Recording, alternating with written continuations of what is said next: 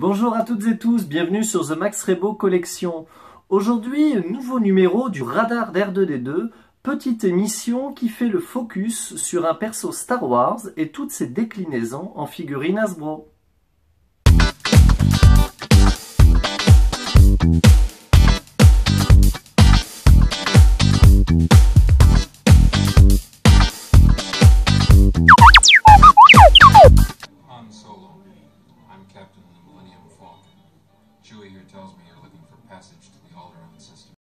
Comme vous l'aurez compris, ce nouveau numéro est consacré au plus célèbre des contrebandiers, Han Solo.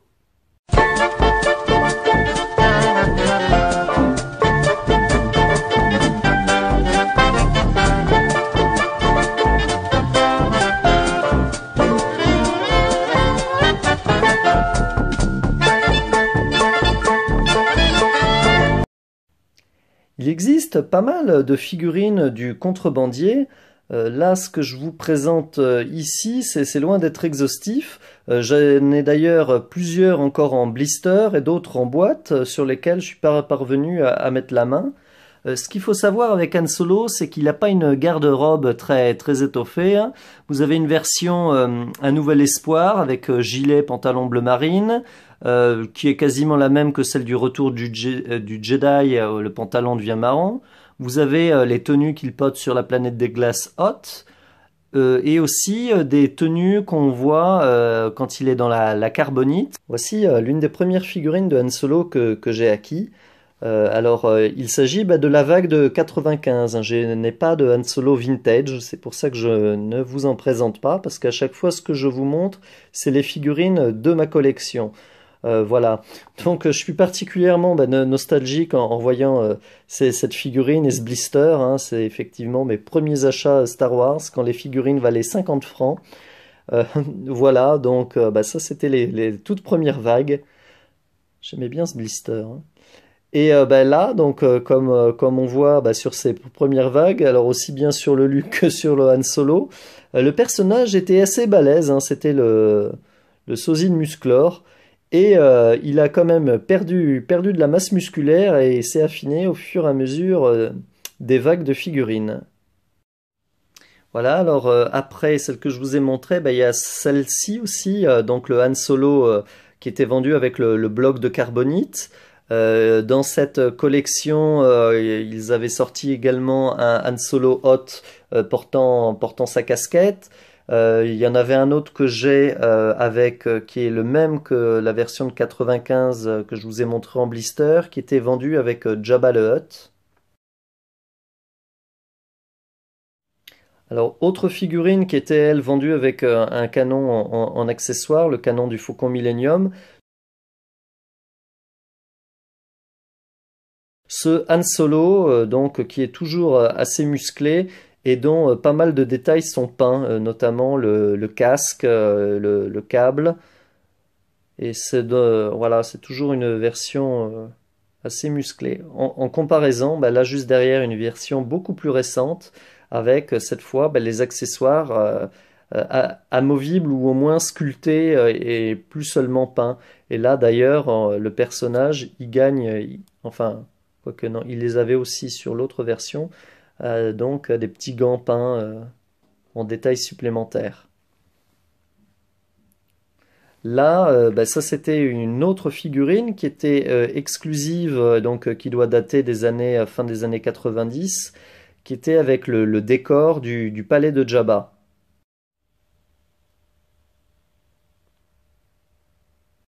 La, la vague qui a suivi les Power euh, of the Force euh, était, euh, était celle-là avec, euh, avec les puces et donc euh, qui est sortie au moment de l'épisode 1. Et là, on a fait un sacré bond. Anne a une position assez cool. Le blaster rentre dans le holster et le personnage est beaucoup, beaucoup plus, bah, beaucoup plus fin, avec des articulations au niveau des, des genoux. Et bon, il a effectivement bah, commencé à fondre et à perdre en masse musculaire. Euh, Après, dans la gamme euh, Power of the Jedi, la gamme verte, ils en ont fait un qui était assez, assez sympa, qui était euh, cette version Bespin du perso, avec des bras amovibles, pouvant ainsi porter les menottes, avec le blaster, un blaster plus petit aussi, plus mieux proportionné, qui peut se ranger dans le holster. Donc là, c'était vraiment une, belle figurine. Alors ils en ont sorti également une autre avec une, la ceinture et le blaster d'un Stormtrooper dans cette gamme, mais je ne l'ai pas. Alors après, ils ont continué au fil des années bah, à améliorer encore la figurine. Le, gilet et en plus a été euh, un accessoire maintenant qui est mis sur la figurine, mais il, n'est pas peint ou, collé. Euh, vous avez la ceinture aussi euh, de ce modèle qui, est un accessoire supplémentaire amovible avec le holster et, le blaster qu'on peut, qu'on peut y ranger. Et niveau articulation, bah là encore, ça s'est bien amélioré avec des articulations au niveau des épaules, euh, des coudes, des mains, enfin vraiment, euh, tiens, même au niveau de, au niveau de la taille, enfin, euh, elles sont vraiment, vraiment sympas hein, et, de mieux en mieux finies. Alors ils ont sorti aussi tout un tas de figurines sur, sur la gamme haute. Alors on a la version capuche, euh, capuche baissée, capuche, euh, capuche relevée avec lunettes. Donc à chaque fois bah, riche en accessoires et à des couleurs et des, des articulations euh, très soignées. Alors il y a aussi celle-là dans la gamme de figurines de Han Solo sur la planète Hoth, qui est assez originale. Elle est toujours très bien détaillée avec pas mal de petits accessoires assez, assez sympas. Euh, là en plus, donc c'est une version capuche avec le visage dégagé.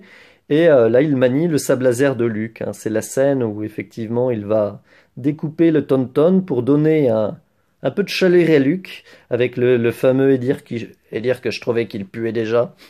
Voilà, voilà, donc euh, assez, assez marrante. Alors maintenant, je vais vous présenter deux trois figurines que je trouve particulièrement originales. Celle-là, où il est effectivement sur un siège de, un fauteuil de torture. Donc là, la richesse de la figurine, bah, c'est cet accessoire qui est particulièrement réussi. Et euh, donc l'expression bah, de Anne hein, euh, qu'on voit défait par la, par la douleur. Donc euh, vraiment une, figurine originale et sympathique. Une autre qui l'est, c'est aussi le concept de Han Solo. Alors effectivement, on voit qu'il était bien différent. Dans les premiers croquis de Macquarie, il maniait le sable laser. Il y en a même d'autres euh, dans lesquels il était représenté par une sorte de, lézard. Mais là, euh, c'est la version euh, Han Solo qui en fait était un mix un peu du personnage de Han Solo et d'Obi-Wan. Voilà. Donc une figurine originale.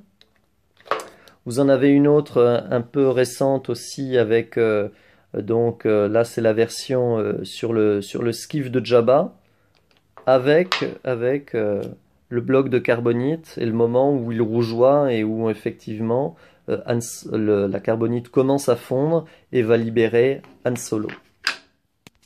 Alors je voulais également vous montrer celle-là, la Black Series, vu que c'est l'une des dernières 3 3 quarts. Euh, vraiment, c'est la, toute dernière vague à être sortie et à représenter Han Solo euh, dans sa version trilogie classique. Donc bah, là, il s'agit encore d'une version carbonite avec bah, un moule particulièrement soigné, ce qui est peut-être le, plus réussi pour la carbonite au niveau des détails, au niveau des proportions, euh, et un Han Solo bah, toujours aussi réussi. Donc une très belle figurine et qui est bah, la, dernière Black Series 3 3 quarts euh, trilogie classique du perso. Alors Han Solo a eu une vie après, euh, après la trilogie classique, vu qu'on retrouve effectivement le personnage dans l'épisode 7. Et donc je vais vous montrer les, deux versions qu'il existe de ce perso pour l'épisode 7.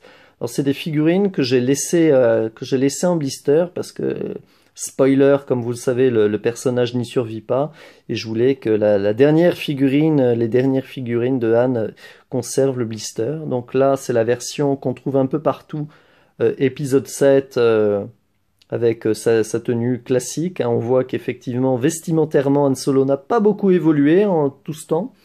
Et cette deuxième version, qui est beaucoup plus rare, qui est la Walmart 3 euh, 3 quarts exclusive. Et donc, euh, on retrouve notre Han Solo, donc, qui est maintenant âgé d'une soixantaine d'années, euh, dans, voire un peu plus même, euh, dans sa version euh, tenue, de neige. Donc là encore, ça rappelle ce qu'il portait sur Hoth, mais là, c'est effectivement la tenue qu'il euh, qu'il met quand il infiltre la base Starkiller à la fin du film. Si vous voulez euh, voir plus de, de, cette figurine, je vous invite à regarder la vidéo où j'ai fait les reviews des Black Series Walmart 3 3 quarts exclusives. Voilà, bah donc un petit euh, florilège des figurines Han Solo euh, que je peux avoir. Euh, je vous invite à regarder la prochaine édition euh, du radar de R2D2 qui sera consacrée au, au, personnage de Boba Fett. Et n'hésitez pas à me dire euh, dans les commentaires bah, quel perso vous aimeriez bien voir par la suite.